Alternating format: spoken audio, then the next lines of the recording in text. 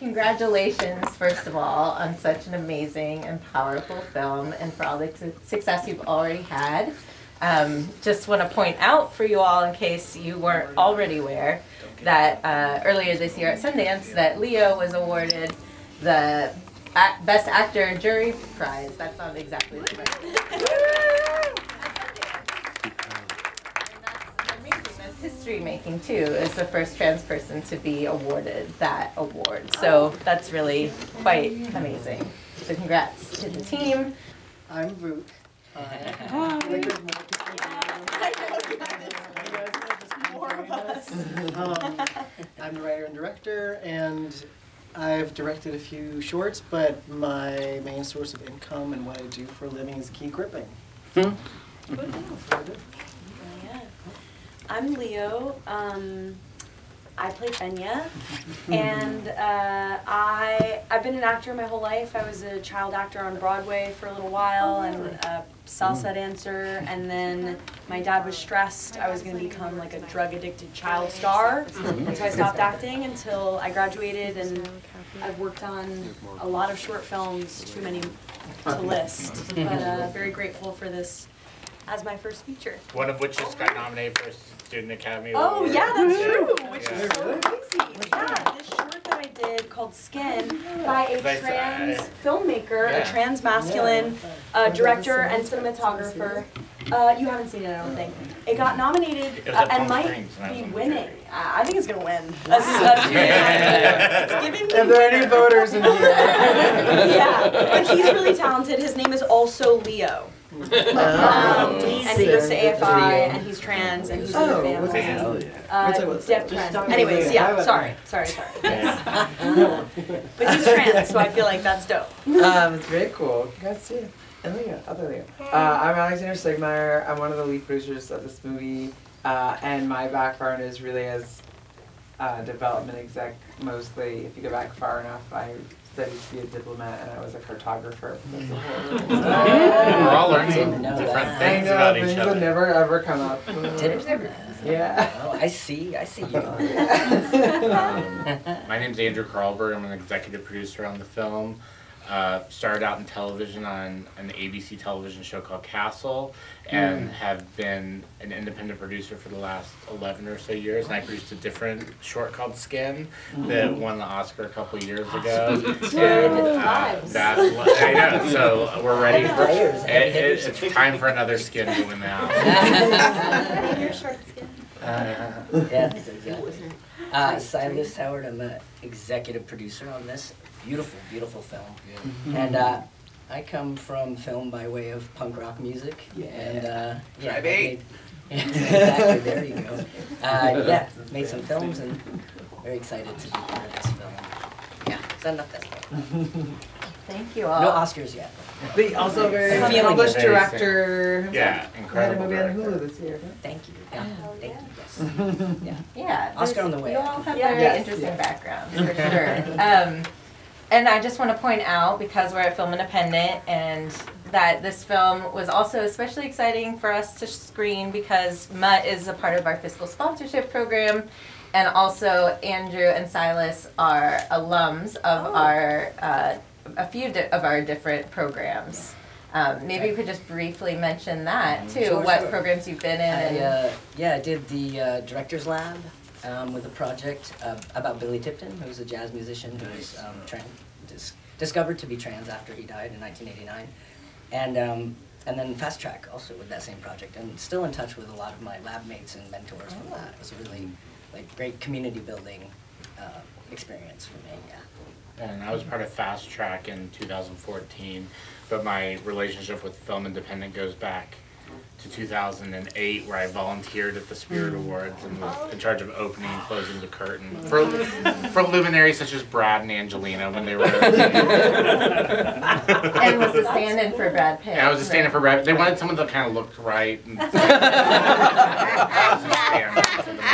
I like um, Well, wonderful. Thank you. It's great to have you back and great to have this project here for a number of reasons. Um, Vuk, maybe we could talk. I listened to your NPR interview, and you mentioned which you all should listen. It's a wonderful short interview. I learned it's actually it was a 30 minute interview, but it's an eight minute interview that you can find online.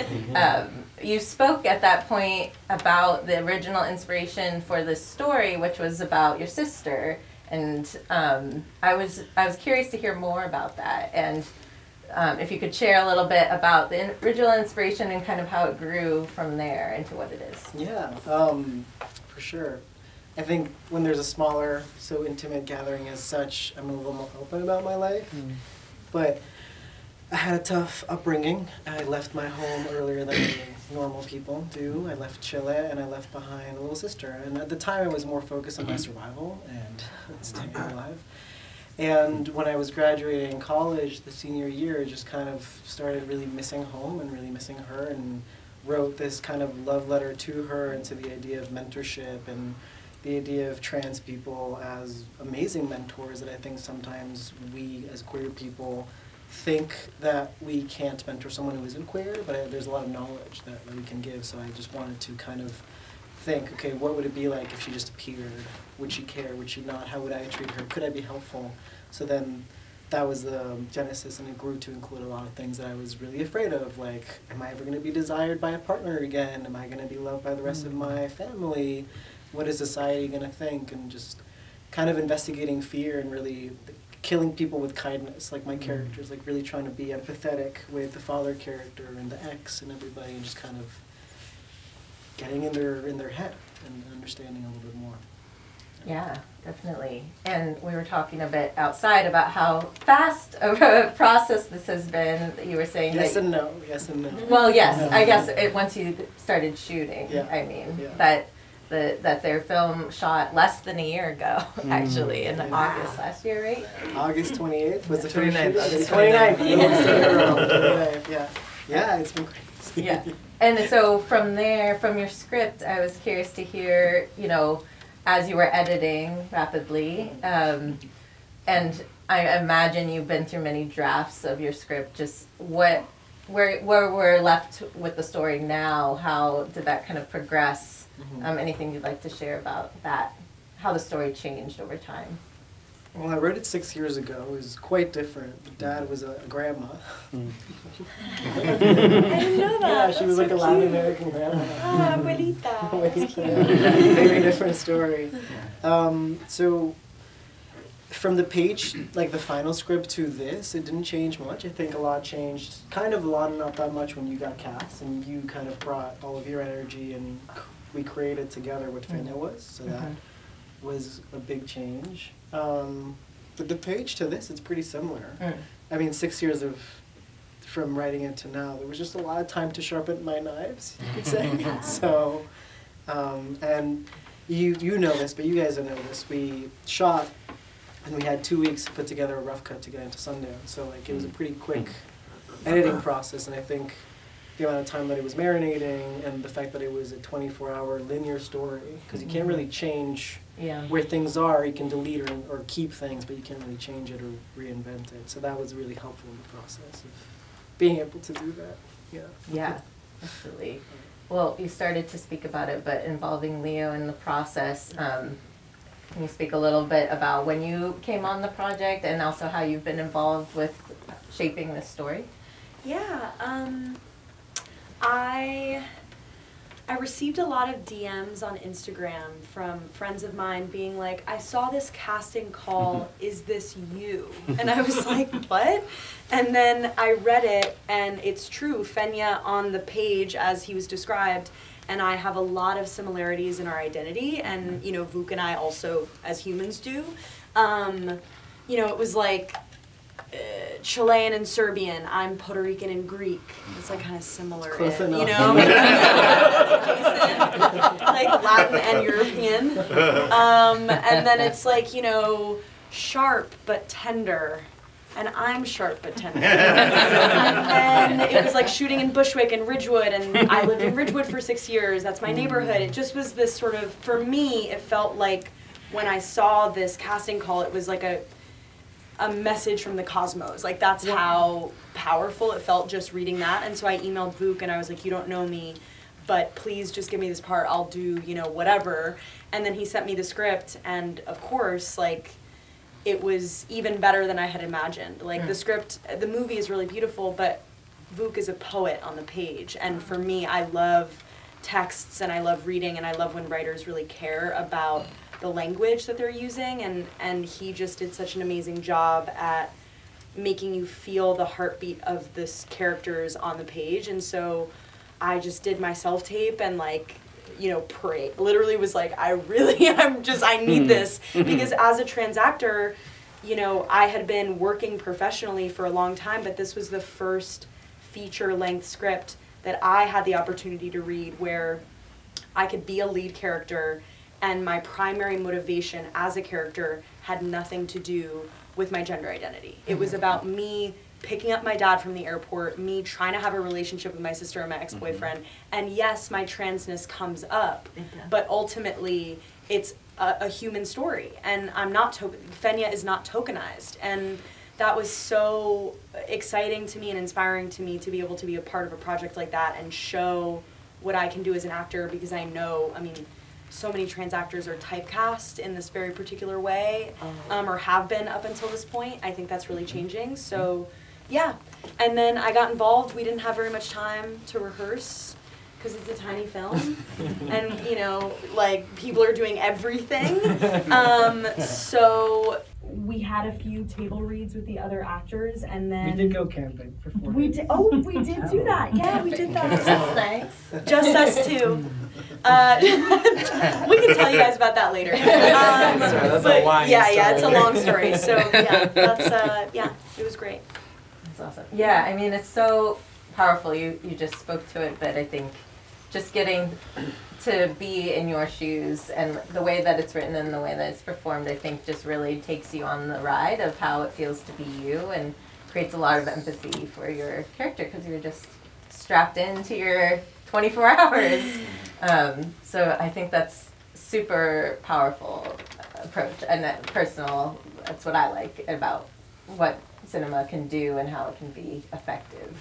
Um, Alexander, um, I'd love to hear about how you got involved with this project and what drew you to want to be involved. Yeah, I as I. I'm happy to talk about that. It's something that I Vuk didn't even know until recently. I think when we were doing another Q and A about something. But um, I, uh, I I started my career really at National Geographic magazine. So I had this like very journalism background. and I produced art and stuff there, and then I was a development exec at Disney Animation Studio. And uh, after I left there, I left there to be an independent producer, and Mutt was one of the first projects I read. And it was through another producer of the movie, Steven Scott Scarpula. And uh, just because I think of my background at Nat Geo and my childhood, I've always been really pas- about, passionate about underrepresented voices.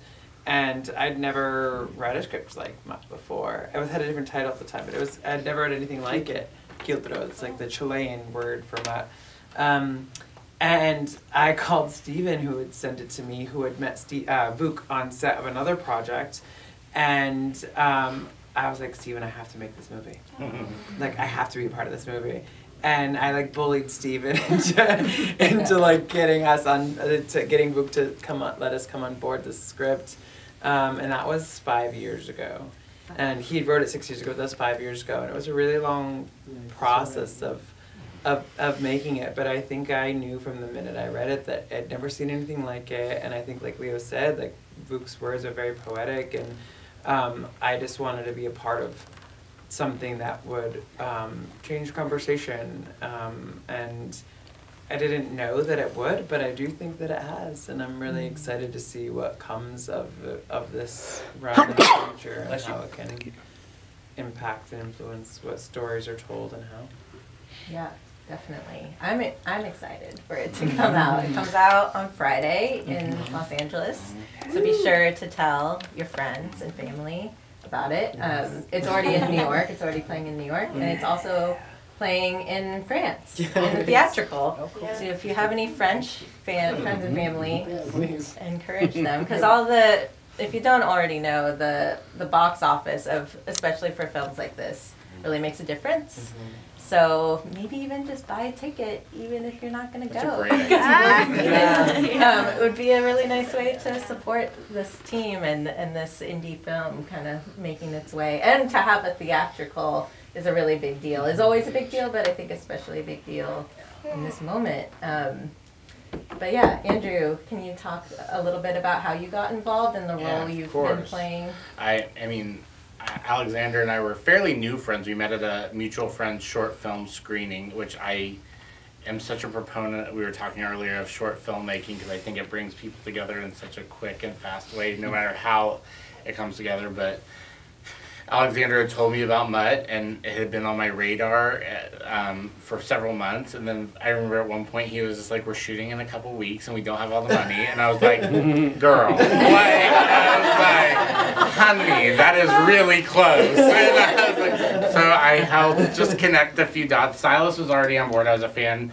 of his television career, and Jake had already come out, and so I knew that had like a stamp of approval from s- somebody that I also knew to be an amazing filmmaker.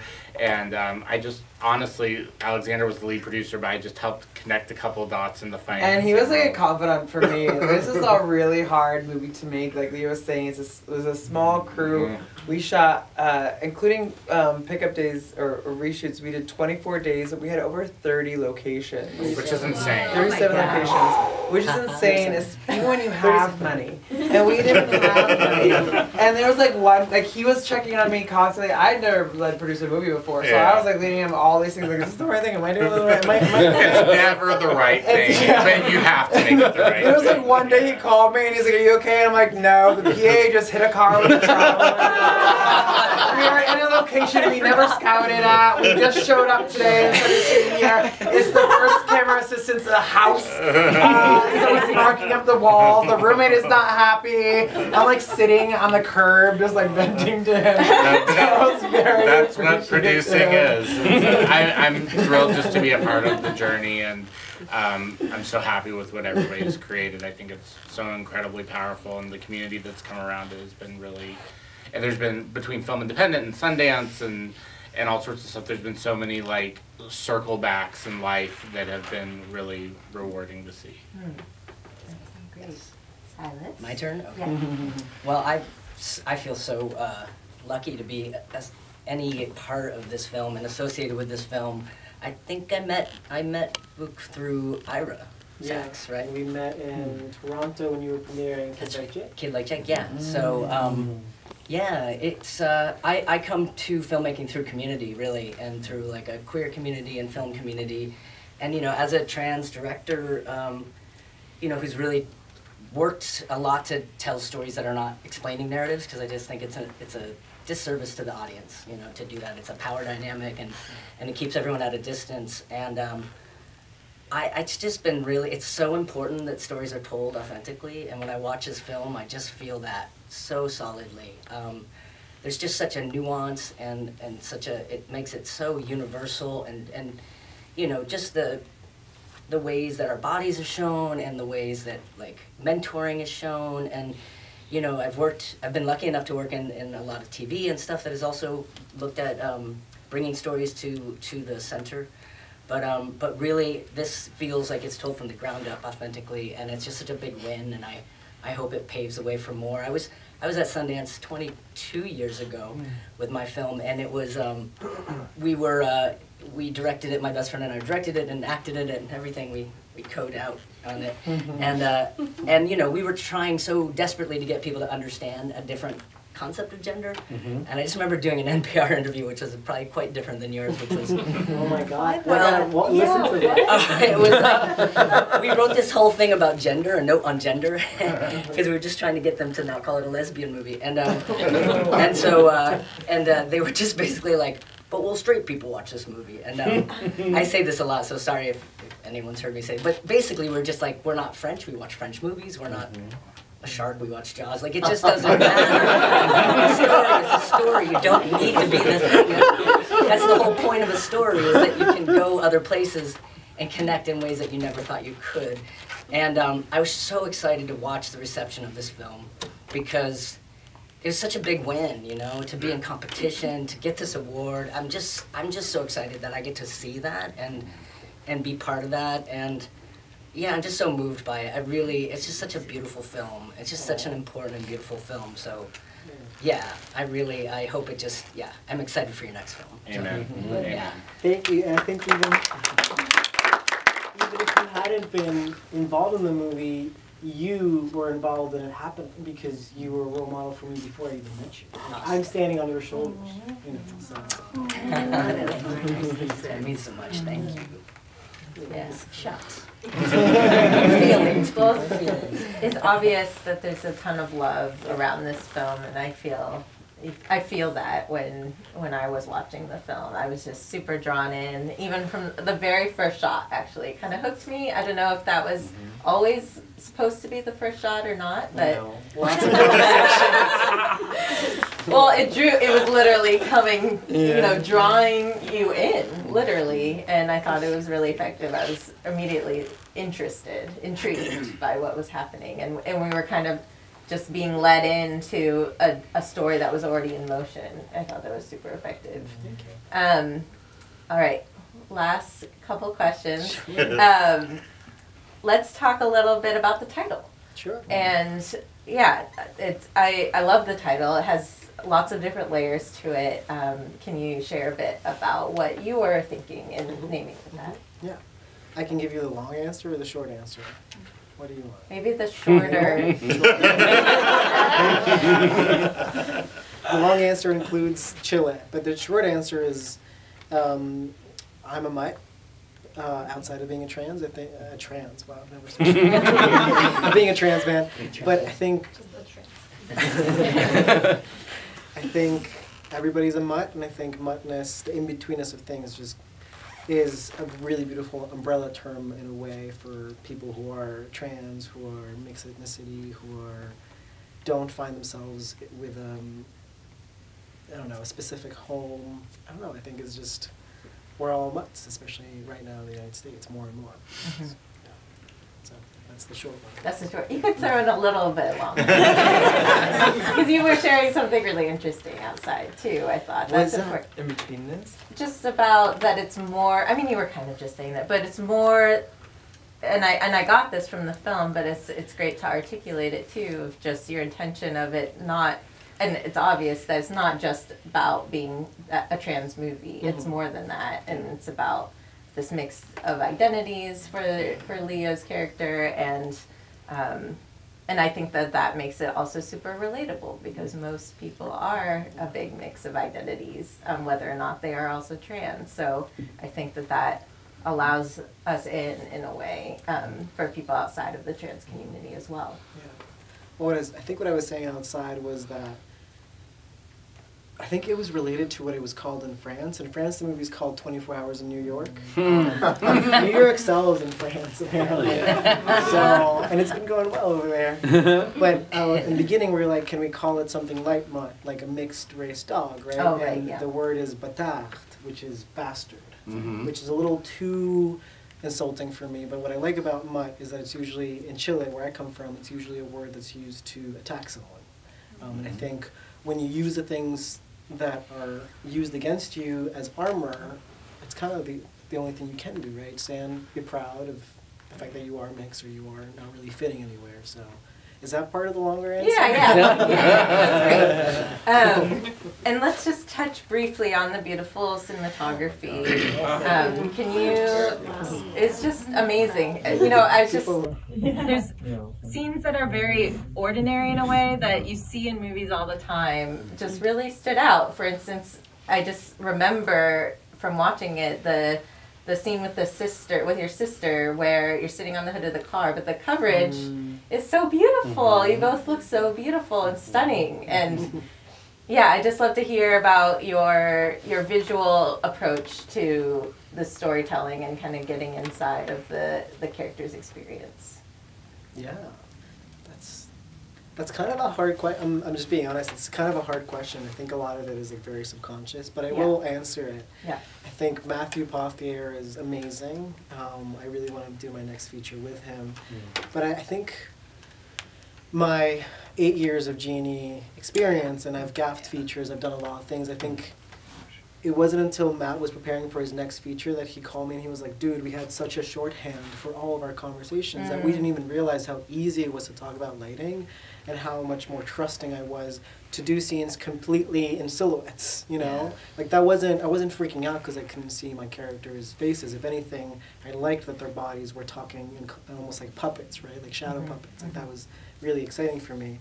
So I think my background just allowed for a little more of trust in that department, and, and just we had Yeah. an amazing gaffer. She Mhm. was awesome, you know. Mm-hmm. And I think I was excited. I talked to Matt. He was the captain of that ship, and I was the captain of this ship, and together we were a pirate ship. But like, I was excited to say, "You're amazing at what you do. That's why I trust you. Now go do your your, your best, right?" Yeah. Um, and I was excited to not touch lights because If that's all I do. So If I could Yeah. build on that, I would say that like uh, Vuk is also a very visual person. Like you know what you like and you know what you don't like, and like he often describes things like that is ugly, but it's beautiful because it's ugly. You know, and I think he and and Matthew really sought out a lot of places that added richness to the texture of a scene, you know, and, and shooting a movie like this at a really low budget is really hard because you don't have all the choices in the world you know, like they could find a beautiful place, and then I call and try to negotiate to shoot there, and they're like, it's twenty thousand dollars a day. and I think, great guys, find another spot, you know. Um, and so that was like made it a challenge, but I think that like again, Vuk has a very is very visually driven, and I think that complemented well with Matt, who has a really great aesthetic, and this was Yeah. Matthew's first feature also. Um, and we. well, we pushed each other a lot. yeah, and I think Yeah, that really was a great way. discovery and bonding for, for you guys. And I Can- will. Oh, I, was, I just want to ask about like being having gaffed for so long and understanding lighting, and um, yeah, how many conversations you had because it definitely feels like that played a big part into the Not that many. I think it was like you like lighting, you're good at it. Good. Next. right, right, right, With right. Matt, we actually spent the first, the first month talking about the movie. We went scene by scene, getting on the same page emotionally. We didn't Right. talk about lights. That's we didn't great. talk about references. Nothing. It wasn't until he understood exactly how I felt that That's we started great. talking. That's And he's a white cis straight man. Mhm. I think his first his first question to me was, "What is the trans gaze?" And I was like, "I have no fucking idea. Let's figure it out." What is the what? The trans gaze. Oh yeah, good I was question. like, Who knows? nobody asked. Yeah, I don't but just kind of talking about that and, and dissecting. That's so great because it's such a emotive lighting, and so that makes sense that you talked about the emotion first. Yeah. Yeah. Mm-hmm. And that Yeah. day in the car was a really hard day because again, small Oh, the team. pizza one. Vuk and Matt did a lot of the scouting, All and of this. they picked a beautiful location right next to a train stop. Not only that, was there a train going by every like fifteen or twenty minutes. No, But, wait, like, towards on, the wait. end- every two minutes, we're in New York City. where the actors are trying to deliver these monologues, and it's like hold for train, and I'm like for sure, Yeah. twenty time. like. and then, but there was like other crazy things. There was like, like there's a beautiful Matt had this like beautiful in Vuk had this beautiful idea with these kids going by on the bikes. I But need the- kids, Alex. Yes, like we need kids, we need kids right now. Like, okay, I'm not trying to cast kids, but like the way that like the day shook out, like we planned cast the kids to show up later in the day, but they wanted to do that shot first. And we get to the location, and there's like kids playing on the corner, and I was like. I'm so sorry. I'm not a creep. Can you introduce me to your parents? and they're like talking to their parents and like, we're shooting a movie. Can you just sign this waiver? We would love your kids to be in the movie. And then like they were just like kids on the street riding their own bikes and their own scooters, and we did it over and over again. And there's this great opening shot to panning to Fenya and Zoe sitting on the roof. And then like we when we were like, trying to wrap the day, it was such a long day. It was week one of the shoot, and we had to move the car so that you would have this beautiful mm. lighting with the with the oh. trees. So we were parked in the middle of the road and we're doing the last shot, and then someone starts like mowing their lawn. No one even has a lawn. You're like, how are you mowing your lawn? He was watering his garden and singing. And then you, like Lío was like, "Excuse me, we're trying to do the movie." New York doesn't give a And fuck. then the last, part of that day, on the fifth floor of the apartment building, someone starts blaring classical music. Yeah. Like we could not get a break, and like we couldn't figure out where it was coming from. That was a really, I really will say, hard if I can day. I don't know if we have time. That I think was day four. That was day four. That's the day. I know you were suffering a lot, but that's the day that I was like, Lío is a star. He can Mhm. carry this movie on his shoulders. Yeah. Yeah, And I, even though you were suffering through it, yeah. melting. you, you that day, that- I feel like it clicked. I feel like the character clicked in you, and you also came up to me at the end of the day and said, "I can control my eyebrows now." you were like, "I figured it out. They don't move anymore." Yeah. But it was a hard day, but it really, for me, was a before and after moment. Um, Yeah. In terms of like where I I think thought that's the movie really was true. going. Yeah. That's amazing. I mean, that's wild to hear. You can't tell that all that was going on. And yeah, it was just reminded me too of how Cena, you really put Lío through, Feña through the, the ringer, you know, with this day. Mm-hmm. And Lío, you did such an amazing job just kind of landing these big moments, one moment after another, and like each, you know, meaningful and serious and vulnerable. And you just kept landing them. It's just I believed you all the way through. So amazing work. Yeah. Um, any last final final thoughts that we didn't say, talk yeah. about that you want to share with everyone? I mean, I can keep talking about. I think we're probably out of time. Yeah. Um, well, thank you all for coming tonight.